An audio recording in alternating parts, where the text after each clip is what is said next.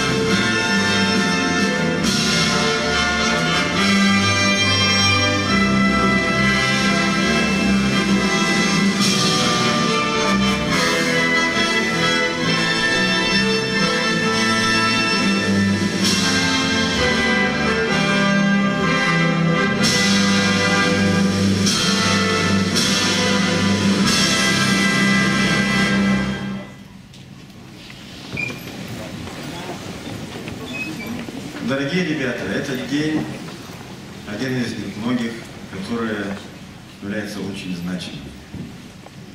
В этот день мы вспоминаем наших дедов, прадедов. Это день славы русского оружия. Это день несгибаемой воли всех народов, которые могут достигнуть победы, если они хотят. И всегда Россия побеждала, всегда. Все войны заканчивались победой. Потому что та воля, которая у нас есть, это сильнее любого оружия. В городе Новосибирске в начале войны были сформированы три, точнее четыре дивизии, которые обеспечили первую победу под Москвой. И они получили звание первой, второй, третьей и четвертой гвардейских дивизий. Именно сибиряки наши с вами обеспечили эту победу. Это достоинство, это воля, это сибирский характер. Мы должны понимать, что это все непросто. Это все по-настоящему. Тут нет лжи. Здесь есть только сила, дух и смелость. Конечно, многое с тех пор времени ушло, многое уже забыто, и всей правды войны мы не знали. И уже, похоже, не узнаем. Но наши отцы, мы в том числе, всегда хотели, чтобы эта правда была. В нашей школе работало довольно много сотрудников, которые прошли Великую Отечественную войну. Первый директор летней школы был боевой командир. Первый директор самой школы тоже был боевой командир. То есть, вообще-то говоря, нашу школу построили наши славные воины.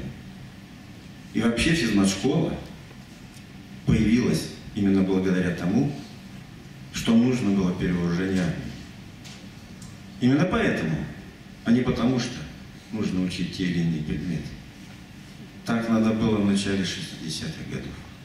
Так нужно и сейчас.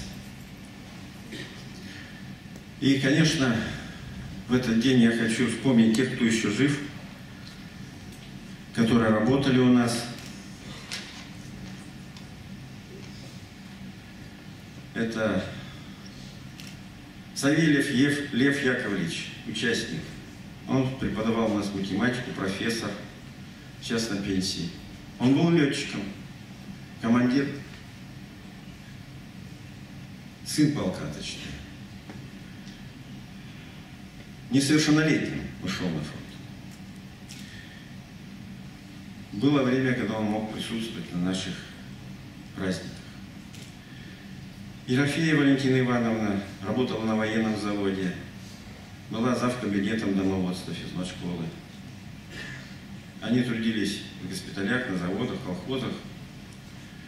Жаринова Антонина Петровна работала ребенком в госпитале, потом у нас преподавателем, воспитателем. Алексей Тимофеевич Гайнов, тоже профессор, работал трактористом во время Великой Отечественной войны, ребенком. Седова Анда Андреевна, дитя войны, работала в школе воспитателя. Вела летопись наша физмат-школа.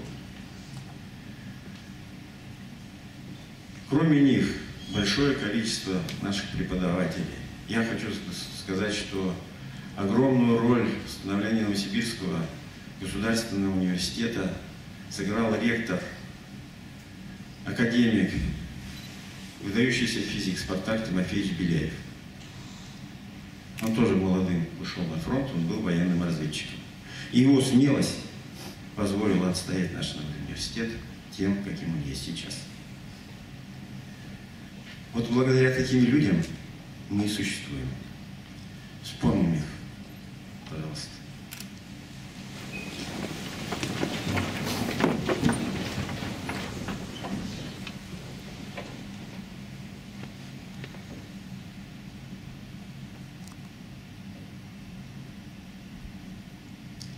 Спасибо.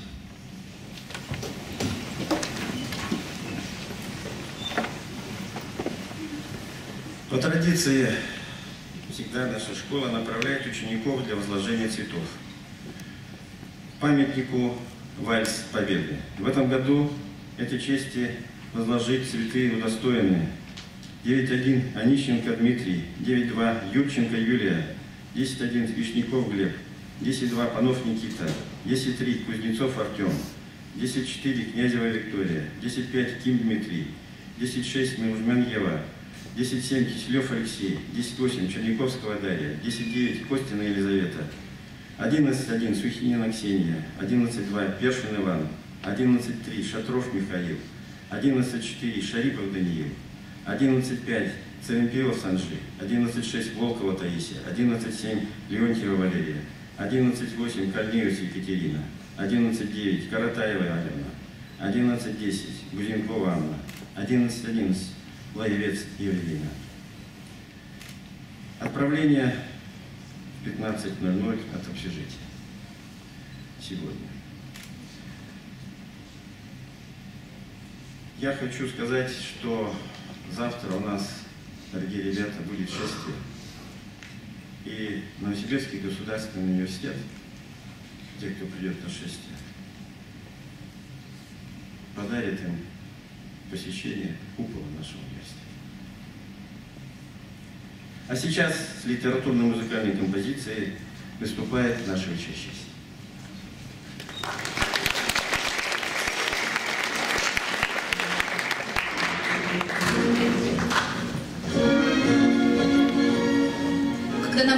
Бой смертельный шли вы, отчизны верные сны, О жизни мирной и счастливой мечталось вам среди войны.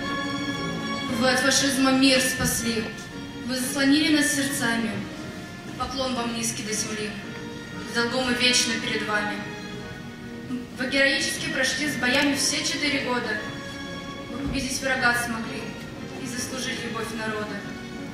Спасибо вам, отцы и деды, Спасибо, братья и сыны, ваш подарок Дню Победы, за главный праздник всей страны.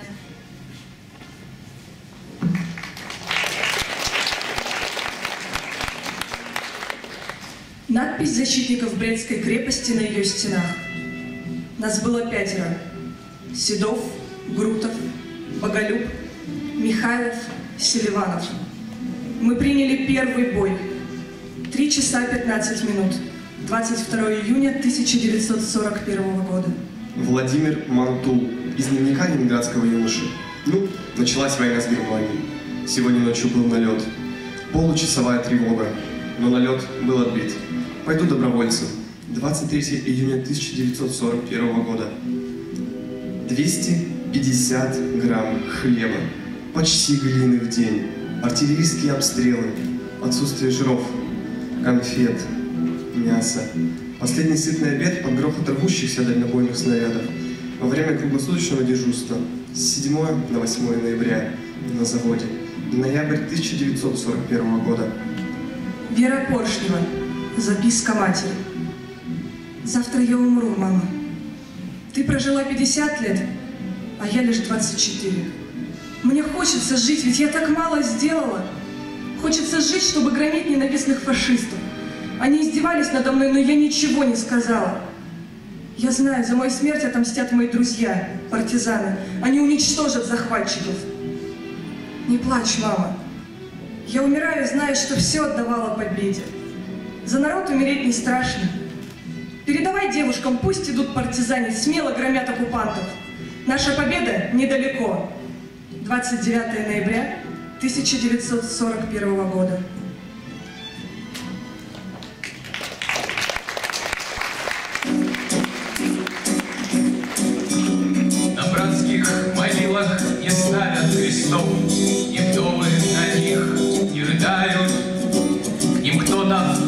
Приносит букеты цветов, И вечный огонь зажигают. Здесь раньше вставала земля на дыбы, А нынче гранитные плиты. Здесь нет ни одной персональной судьбы, Все судьбы в единую слиты.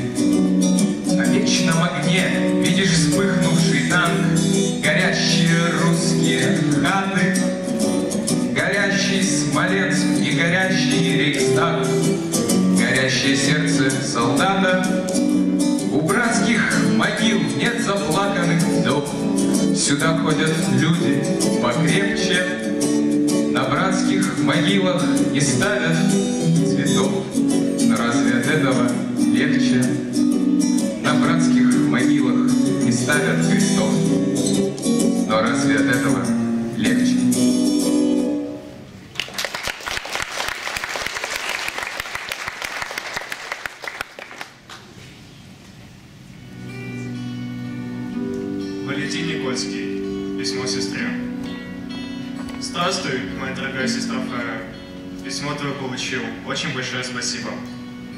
Я живу все по-старому.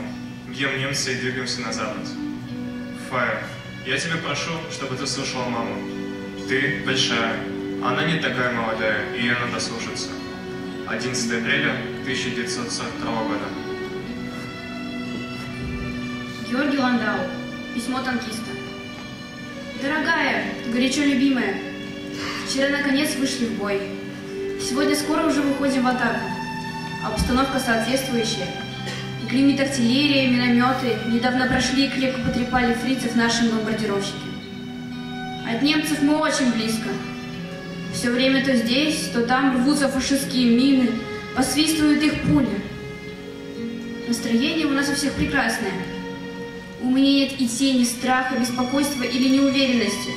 А взамен всего этого есть только одно чувство – горячей любви к родине. Стремление во что бы то ни стало защитить ее, защитить вас, мои дорогие, от этих гунов 20 века. Отомстить им за все те несчастья и страдания, которые они причинили нашему народу. Отомстить за наш любимый город Ленина. Многое можно было еще написать, но время на исходе. Крепко-крепко вас всех целую. Не позднее даты гибели 20 августа 1942 года. Дмитрий Яковлев. Клятва защитника Сталинграда. Моя клятва. Я партии сын, и отчизну мне мать. В бою я не буду назад отступать. А если погибну в жестоком бою, скажите словами народу. Он честно, достойно отдал жизнь свою в сражении с врагом за свободу. 3 сентября 1942 года. Дмитрий Петраков. Письмо дочери. Моя черноглазая мила, посылаю тебе Василек. Представь себе, идет бой, кругом рвутся вражеские снаряды, кругом воронки, и здесь же растет цветок. И вдруг очередной взрыв. Василек сорван. Я его поднял и положил в карман гимнастерки. Цветок рос, тянулся к солнцу, но его сорвало взрывной волной. Если бы я его не подобрал, его бы затоптали. Вот так фашисты поступают с детьми оккупированных населенных пунктов, где они убивают и топчут ребят. Мила, папа будет биться с фашистами до последней капли крови, до последнего вздоха, чтобы фашисты не поступили с тобой так, как с этим цветком. Что теперь непонятно? Мама объяснит. 18 сентября 1942 года.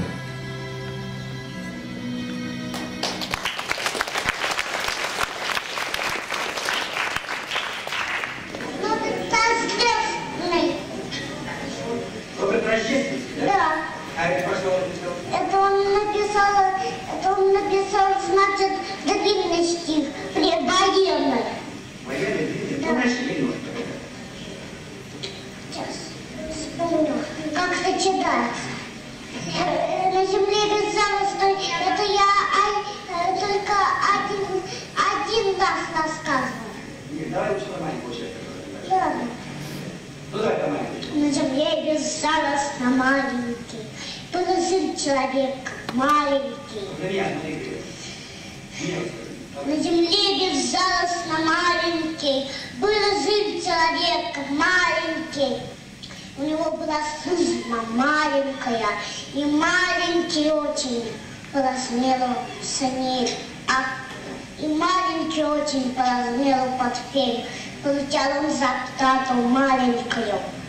И однажды прекрасным утром постучалась к нему в окошко. Небольшая оказалась война. Автоматы бы выдали маленькие, сапоги бы выдали маленькие, и маленький очень по размеру санель. А когда он упал, некрасиво, неправильно, вот такой всем крики были то на всей земле не хватало мрамора,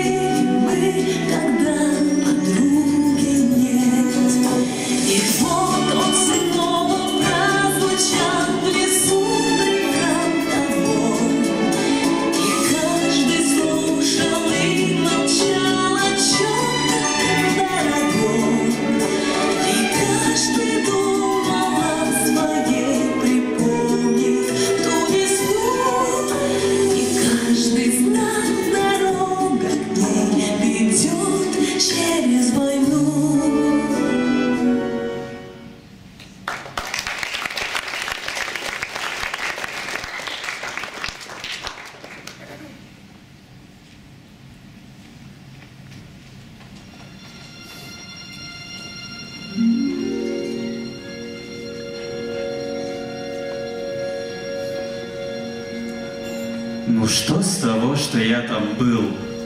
Я был давно. Я все забыл. Не помню дней, не помню дат. и тех форсированных рек. Я неопознанный солдат, я рядовой, я имя рек. Я меткой пули недолет, я лед кровавый в январе. Я крепко впаян в этот лед, я в нем, как мушка в янтаре. Ну что с того, что я там был? Я все забыл, я все избыл. Не помню дней, не помню дат, названий вспомнить не могу. Я топот загнанных коней, я хриплый возглас на бегу. Я миг непрожитого дня, я бой на дальнем рубеже. Я пламя вечного огня и пламя гильзы в блиндаже. Ну что с того, что я там был? В том грозном быть или не быть, я это все почти забыл. Я это все хочу забыть. Я не участвую в войне, война участвует во мне, и пламя вечного огня горит на скулах у меня. Уже меня не исключить из этих лет, из той войны, уже меня не излечить от тех снегов, от той зимы, и с той зимой, и с той землей меня уже не разлучить. Из тех снегов, где вам уже моих следов не различить.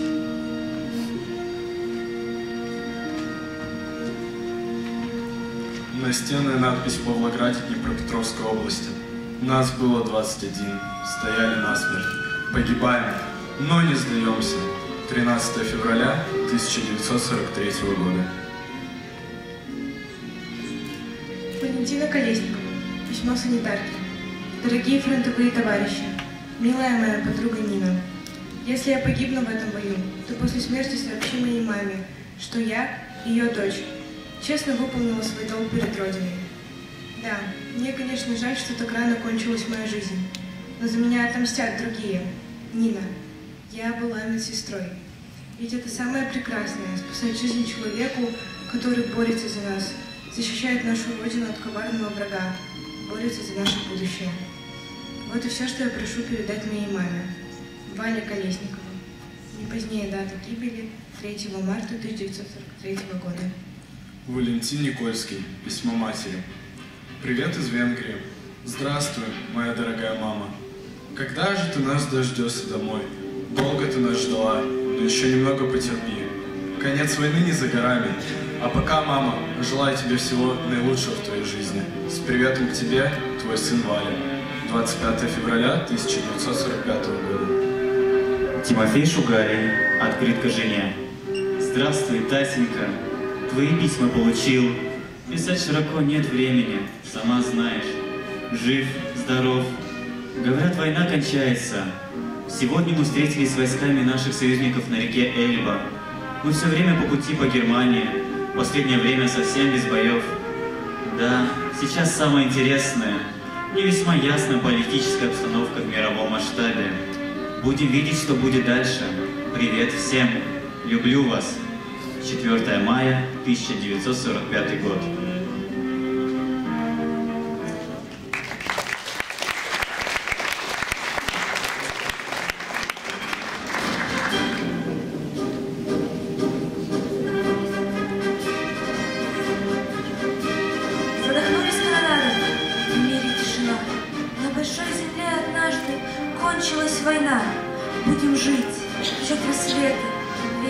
Любить. Только не забыть бы это, лишь бы не забыть. Как всходило солнце в гаре, и кружилась мгла, а в реке, между берегами, кровь вода текла.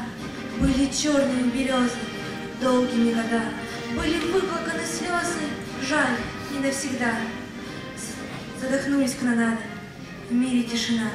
На большой земле однажды кончилась война. Будем жить, встречать, встречать рассветы, верить и любить. Только не забыть бы это, лишь бы не забыть.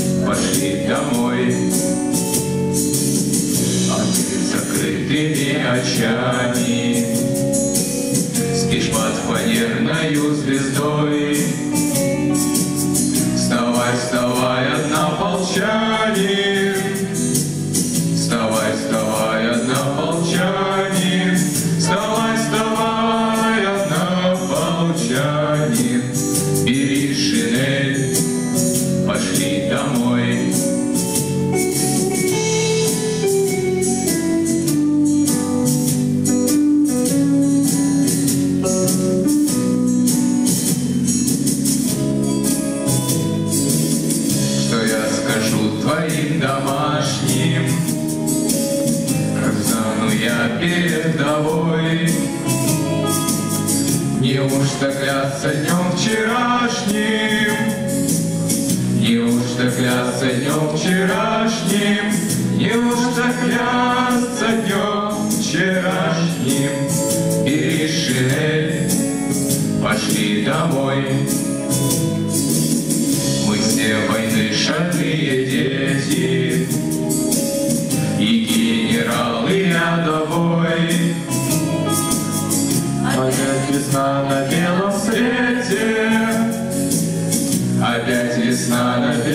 свете, Опять весна на белом свете.